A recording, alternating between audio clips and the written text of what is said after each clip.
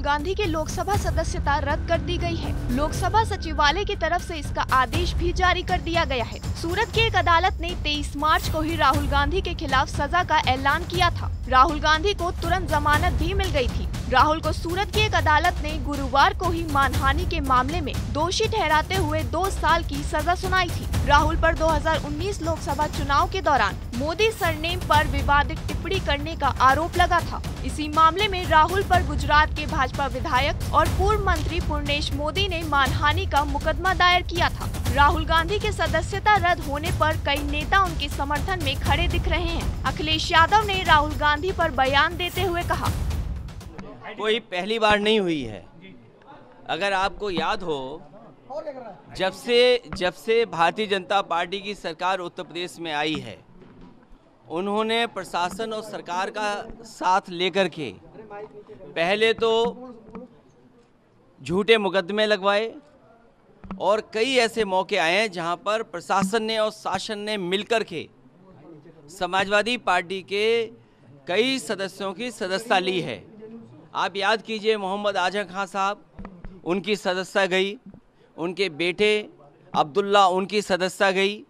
इसी तरह समाजवादी पार्टी के जो सिटिंग एमएलएज हैं, उन पर केस लगाना, इरफान सोलंकी कानपुर, और एक अधिकारी बुलाया गया, बाहर से लाया गया।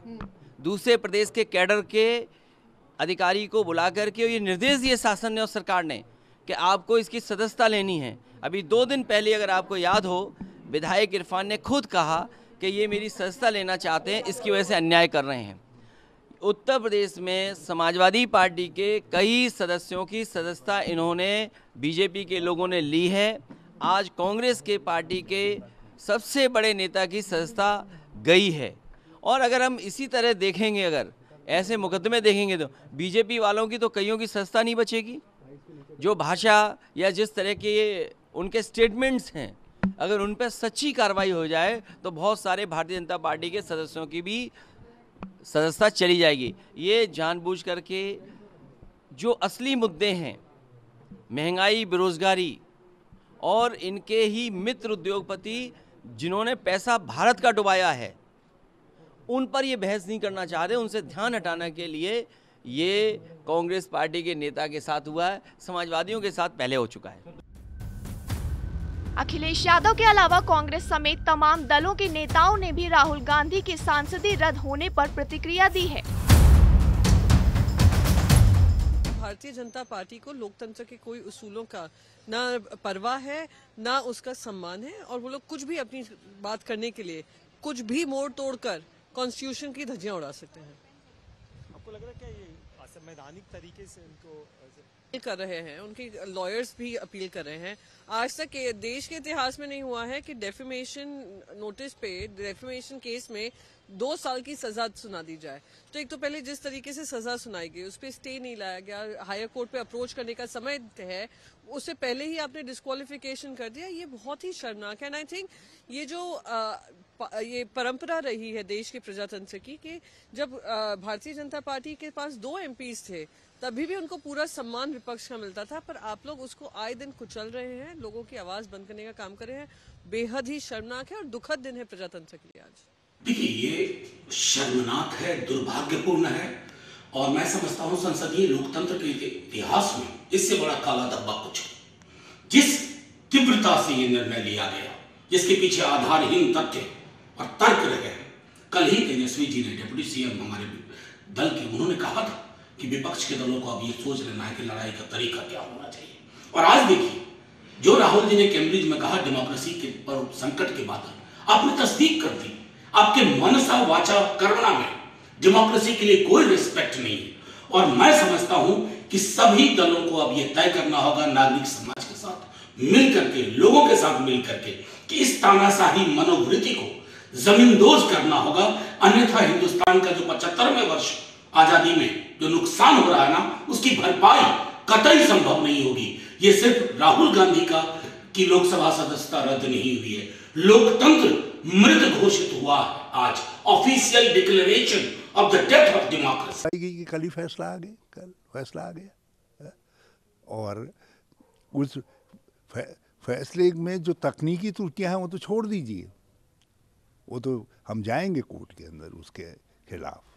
लेकिन जिस प्रकार से कल ही इन्होंने सदस्यता बर्खास्त नहीं की, मुझे आश्चर्य हो रहा था कि ये समझ कहाँ से आ गई इनको।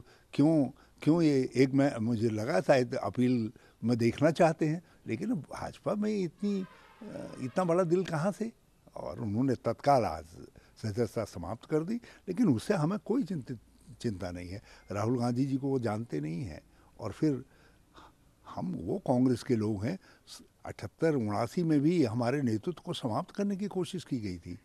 और देश ने कहा, इंदिरा लाओ, देश बचाओ। और हम देश की जनता के पास जाएँगे। कोर्ट में भी जाएँगे, देश की जनता के पास भी जाएँगे, गांव-गांव जाएँगे। अभी ऐसा नहीं है कि इंदिरा गांधी के सब सिपाही मर नहीं गए और हम इस हमले के खिलाफ ज़बरदस्त प्रतिवाद देंगे। और मैं धन्यवाद देना चाहता हूँ देश के प्रतिपक्ष को। सब लोग, सब हमसे सहमत थोड़ी हैं। राजनीतिक हमारी प्रतिद्वंदिताएँ हैं, लेकिन सब आए हैं, खड़े हो रहे हैं और पूरा प्रतिपक्ष एकजुट होगा। ये लोकतंत्र बचाने की लड़ाई है। शायद कल शहीद भगत सिंह, राजगुरु और बटकेश्वर दत्त जी के बलिदान का दिवस था। वो बलिदान का दिवस ने राहुल गांधी जी के राजनीतिक बलिदान मांगा सदस्यता के रूप में और ये देश के लिए एक टर्निंग पॉइंट होगा लोकतंत्र बचाने की लड़ाई जो है देश जीतेगा। कांग्रेस जीतेगी देश का प्रतिपक्ष जीतेगा। है क्या शायद बोल रहे हैं कि कोई केस का मामला और न्यायालय का मामला है? तो हम न्यायालय न्यायालय पे हम पूरा भरोसा रखते हैं कि साजिश के तहत इनको फंसाया गया है। वो तो आए दिन देख रहे हैं कि किस तरीके से भारतीय जनता पार्टी के लोग किस तरीके से दुश्मन बन के हमारे हम लोगों के पीछे हमारे परिवार के पीछे तमाम लोगों के पीछे जितने भी समाजवादी लीडर हैं उनके पीछे ये पड़ी हुई है लेकिन अभी तो मामला हम देखेंगे क्या है। और ये सर लेकिन तमाम विपक्षी पार्टियों पर कार्रवाई हो रही है लगातार तो कैसे देखेंगे? अब देखिए हम लोग देख रहे हैं और न्यायालय पे हम लोग को भरोसा है पूरे तरीके से। और हम न्यायालय को अभी मान रहे हैं अभी देख रहे हैं क्या मामला है। लगता है विपक्ष को कमज़ोर करने की एक साजिश हो रही है? उनके कमज़ोर करने से विपक्ष जो है और जो अभी जिस तरीके से हम हाउस में बैठे हुए थे और जिस तरीके से भारतीय जनता पार्टी जिस तरीके से अपना दुखड़ा रो रहा था कि ये नहीं हुआ वो नहीं हुआ जब वो अभी हैं तो वो कौन सा काम कर रहे हैं? तो पूरी बिहार की जनता और पूरे देश की जनता पूरे तरीके से ये देख रही है कि किस तरीके से इनका व्यवहार है। सब लोग देख रहे हैं। राहुल गांधी को सर आप बहुत अच्छा जानते हैं कैसे मतलब देखेंगे क्योंकि राहुल गांधी पर जो कार्रवाई कार्रवाई इससे अचूता नहीं है। कई एक लोगों के ऊपर ये भारतीय जनता पार्टी के ही पूरे इशारों पे सब चीज़ हो रहा है। हम इतना ही कहना चाहेंगे। भाजपा ने आप लोगों पर भी आरोप लगाया सर भाजपा ने आप लोगों पर भी आरोप लगाया है। भाजपा कब नहीं आरोप लगाया? ये कहिए ना भाजपा कब नहीं आरोप लगाया? लेकिन भाजपा को अब समझ में आ चुका है जो इस तरीके का कारनामा या भाजपा जो की है और भाजपा को पूरे तरीके से समझ में आ गया है कि अब पूरे हिंदुस्तान से उनका सफाया होना तय है और आपके चैनल के माध्यम से आज हम भविष्यवाणी भी कर देते हैं कि दिल्ली का जो जिस गद्दी पे नरेंद्र मोदी जी बैठे हैं वो हिल कर रहेगा। मेरा भविष्यवाणी आप लोग याद रखिएगा। जैसे की उम्मीद थी नरेंद्र मोदी जी से अमित शाह जी से और संपूर्ण भारतीय जनता पार्टी से। कि वे राहुल गांधी जी को संसद में अपनी बात कहने का मौका नहीं देंगे। संसद नहीं चलने दी। उन्होंने जितनी बातें, हिंडनबर्ग रिपोर्ट और मोदी अडानी जी के संबंधों के बारे में कही थी, पूरे संसद की कार्रवाई से उन्हें हटा दिया गया। क्यों हटा दिया गया? किस बात का डर है? मोदी जी क्यों डरते हैं? मोदी जी की जबान से आज तक इस विषय पर एक शब्द नहीं निकला।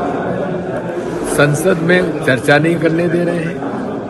चर्चा नहीं होने दे रहे हैं। आखिर कब तक रोकिएगा? आप संसद में ना बो, नहीं बोलने देंगे ना? मत बोलने दीजिए। जनता से बीच में जाने से रोकेंगे। वहाँ भी हम पर केस लगाएँगे। वहाँ पर भी हम पर झूठे प्रश्न बनाएँगे। बनाइए। कांग्रेस का एक एक कार्यकर्ता घर घर जाएगा और अपनी बात दृढ़ता से जनता तक पहुंचाएँगे। लोकसभा अध्यक्ष को ये राइट नहीं है। इस पे बहस होगी पूरे देश में। आप मुझे ये बताइए तीस दिन का टाइम तो ऊपर से मिला हुआ है आप कैसे कर सकते हैं राहुल गांधी की सदस्यता समाप्त? आप कर ही नहीं सकते लोकसभा अध्यक्ष को ये पावर नहीं उनके अधिकार क्षेत्र में ही नहीं आता है। फिर भी उन्होंने सदस्यता रद्द कर दी तो ये गैर कानूनी कृत्य है लोकसभा अध्यक्ष ने किया और ये किसी भी कीमत पर बर्दाश्त नहीं किया जाएगा। जितना राहुल गांधी पे जुल्म होगा उतना बीजेपी का सफाया होने की तैयारी होगी पूरा देश का आशीर्वाद माँ बहन बेटी का आशीर्वाद राहुल गांधी के साथ है। कांग्रेस पीछे नहीं हटेगी। राहुल गांधी के साथ कंधे से कंधा मिलाकर राहुल गांधी के नेतृत्व में हम लड़ेंगे लेकिन किसी भी कीमत पर हम लोकसभा में आज जो कार्रवाई की गई है राहुल गांधी की सदस्यता समाप्त करने की और अडानी घोटाले के खिलाफ कांग्रेस का आंदोलन जारी रहेगा।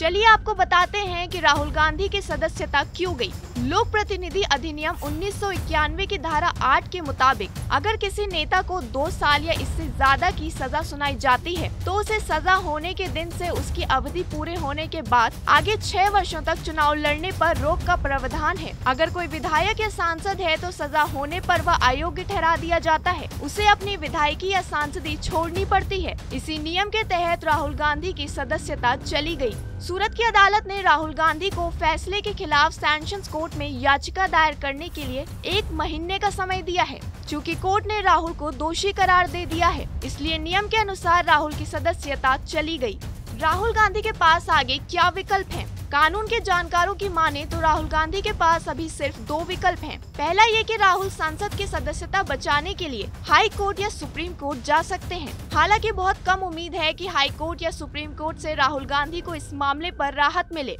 ऐसा इसलिए क्योंकि राहुल पर दोष साबित हो चुका है। कानून के कुछ जानकार ये भी कहते हैं कि कोर्ट कुछ समय के लिए लोकसभा अध्यक्ष के फैसले पर स्टे लगा सकती है। राहुल गांधी के पास दूसरा विकल्प ये है कि वो एक महीने के अंदर कोर्ट के फैसले के खिलाफ सैंक्शन कोर्ट में याचिका दायर करें। इसके बाद कोर्ट के फैसले पर राहुल गांधी का भविष्य तय होगा। मुद्दे की बात यह है कि राहुल गांधी सैंक्शन कोर्ट जाते हैं और वहाँ उन्हें राहत मिलती है तो वो जेल जाने से बच सकते हैं। अगर सैंक्शन कोर्ट से राहत नहीं मिली तो राहुल गांधी को जेल जाना पड़ सकता है।